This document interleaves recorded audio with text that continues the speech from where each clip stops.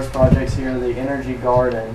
What the Energy Garden was, uh, we uh, wanted to produce a feedstock for biodiesel, and we wanted to experience that from planting the crop to harvesting and then processing um, to extract the oil from it. The objective, you know, of the Energy Garden basically was to produce one gallon of vegetable oil for conversion into biodiesel. We use cow manure for the peanut plots and compost chicken manure for the sunflower plots as our fertilizers. We calculated using the techniques of dimensional analysis. We figured out by 15 by 15 feet plot for the peanuts will be expected to yield pretty much 814 liters hectare of oil and an 18 by 18 feet sunflower plot would be able to yield 571 liters per hectare. June 4th, 2007, myself and the bioenergy interns planted this 18 foot by 18 foot sunflower plot. The approximate area is about 324 square feet. It took about a week for the sunflower plot to start sprouting up. The scientific name for our sunflower plot is Helianthus annuus. Right now we're probably within our first month and a couple of days within the plot. What we're going to use is the seeds that are harvested from these sunflower plants. We're going to use that to make um, biodiesel. You can see where some of the sunflowers are starting to wilt. We notice that a lot of birds are coming here and like standing on the sunflowers.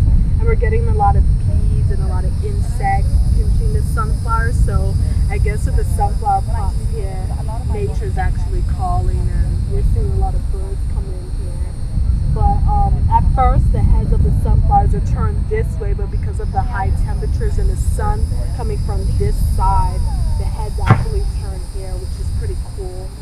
In a few weeks of being ready to harvest, you gotta wait till they uh, till they dry out, um, so the seed is filled out with the oil, because it's during this time that's filling out. But we're gonna harvest them. We're probably gonna hand harvest them, but in uh, in real cultivation, they are they're harvested with a combine.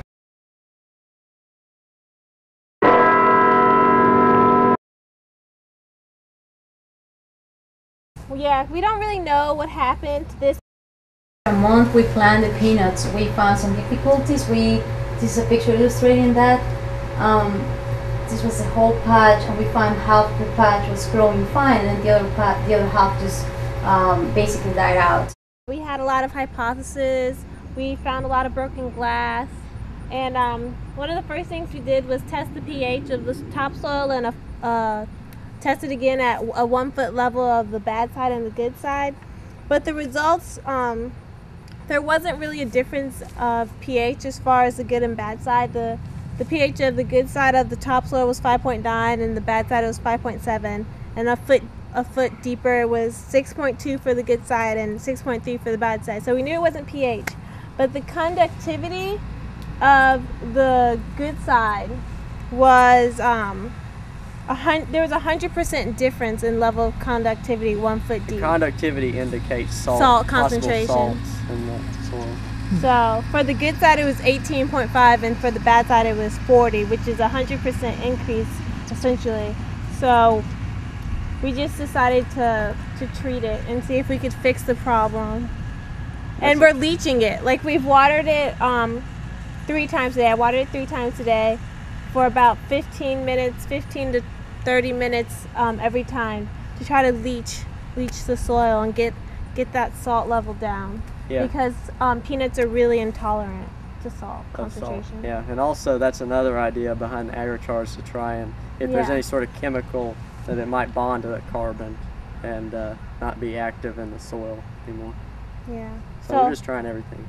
yeah, we're trying everything. Yeah, at once it's just a shotgun um, treatment just to try and fix anything that's wrong. Not anything sort of. We're not approaching this scientifically, but We yeah. just want to fix it. Yeah. We want.